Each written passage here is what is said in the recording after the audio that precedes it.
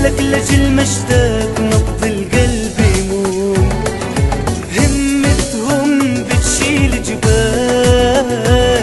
قدام أهل الهم ما في محال. لو صرخت وصحيت لقف معاك مش مستني صوتك لا اسمعك لو تعبت وحملك وجعك. على عقال راسي لارفعك هو يا ابن بلادي.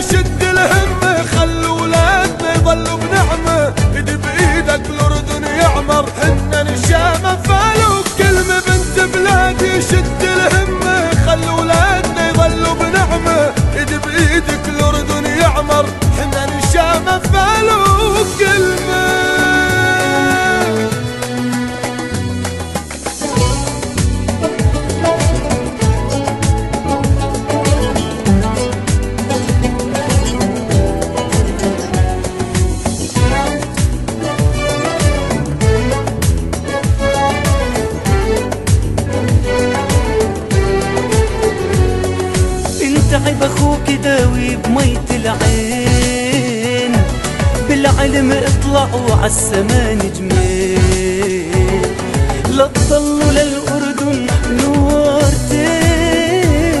أهل الهم وشمعات التأميني فقط ولكن دورها في تحفيز كثير من النشاطات الاقتصادية آه، يعني يحسب لها. والمؤسسة خلال الفترة الماضية راعت بشكل أساسي آه، تحسين نوعية الخدمة أو تقديم الخدمة الأفضل للمواطنين والتسهيل وهذا جزء آه، مهم جدا من آه، التوجه الرسمي لهذه الحكومة الأهم من ذلك أن الخدمات الإلكترونية التي بدأت تقدمها تقدمها مؤسسة الضمان الاجتماعي لا شك إنها لها دور كبير أيضا في التسهيل على المواطنين. أنا بتذكر جيت قبل فتره على هذه على كان مكتب. وفعلا كان المكتب بيقدم خدمات كمديرية. والحمد لله يعني حان الوقت إنه تتحول إلى فرع متكامل.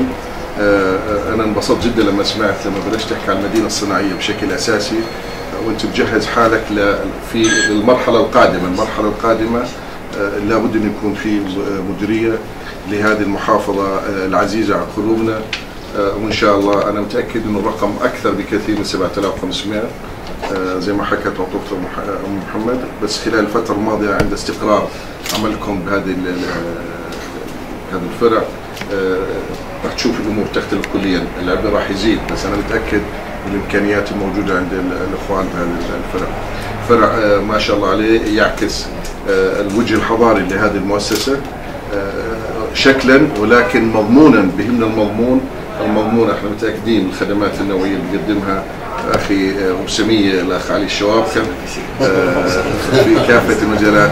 مرة ثانية وشكرا لكم آه، أخي هو استمرار لنهج المؤسسة في تقديم الخدمة المتميزة لجمهور المؤمن عليهم اللي بيخضعوا لأحكام قانون الضمان الاجتماعي أو لأسرهم كانت آه، في محافظة مادبة كان في عنا مكتب للضمان الاجتماعي. ما بيقدم كامل الخدمات لأفراد المجتمع الموجودين في محافظة مادبة ارتئينا أنه هذا الفرع أنه هذا المكتب يصبح فرع بقدم كامل الخدمات لجمهور المؤمن عليهم. أيضا قمنا بإعادة تأهيل لهذا المبنى حتى يكون أكثر تميزا في تقديم الخدمة وتبسيط الإجراءات على جمهور المؤمن عليهم. نحن الآن بمعرض أنه مش هو تجديد لكن خلينا نتحدث أنه إحنا رح نقوم في بناء فرع جديد في الكرك. إحنا الآن مستأجرين لمبنانا في الكرك. الآن سنقوم ببناء فرع في الكرك. في أيضا في الطفيلة. الآن في مرحلة التصاميم في معان. أيضا في الرمثة راح يكون هناك في فرع للمؤسسة. سنفتتح مكاتب جديدة. سنفتتح إن شاء الله في معدي. مكتب سنفتتح في الضليل مكتب أيضا الآن بندرس آه، احتمالية إنه نفتتح مكتب في الصيفه إحنا رح نكون إن شاء الله وين في مواطنين موجودين وفي اكتظاظ وفي حاجة لوجود الضمان الاجتماعي إن شاء الله رح نكون موجودين. طبعا لأنه المكتب عندك الكادر ال- المؤهل المطلوب إنه يكون في موجود بيكون أقل كثير من الفرع. يعني الآن أصبح فرع ماذا بثلاث مديريات مديرية للمشتركين وللمنتفعين وعندك مديرية التفتيش فبالتالي لابد من زيادة الكادر الوظيفي حتى يقدر يغطي محافظه معان وحتى يقوم في كل المهام الموجوده الواجبة انه يقوم فيها. علي الشواب كمدير فرع الضمان الاجتماعي في محافظة مادبة. الفرع تحول ب 1 6 2017 كان مكتب وتحول إلى فرع. الفرع تم في نقلة نوعية من حيث عدد الموظفين والمديريات. بعد ما كان مديرية واحدة أصبح الآن ثلاث مديريات ووحدات تنتين للتحصيل وللخدمات الإدارية. آه هذه النقلة النوعية اللي راح تؤدي بنا إلى تقديم خدمات أوسع للمؤمن عليهم وأرباب العمل وللمواطنين من خلال الفرع الجديد أو من خلال مواقعهم بتشكيل فرق ميدانية لزيارة المواقع ولخدمة المؤمن عليهم بهدف شمولهم والمحافظة على حقوقهم في محافظة مادبة بلغ عدد منشآت التابعة لهذا الفرع 1510 منشآت بعدد عمالة ما يقارب 7500 مؤمن عليهم.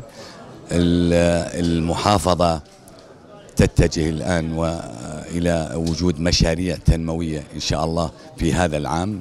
لأكثر من مشروع ونحن نواكب هذه التطور في المشاريع التنموية بهدف شمول العمالة الموجودة والعاملة في هذه المشاريع. من ما تم تحويله إلى فرع وتزويدنا بكوادر بشرية وأدوات العمل اللي بتساهم وبتمكننا من تقديم خدمة أفضل.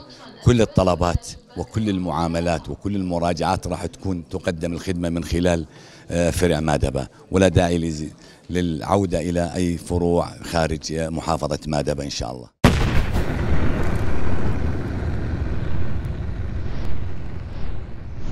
رمل الأنباء. قمر الحقيقة.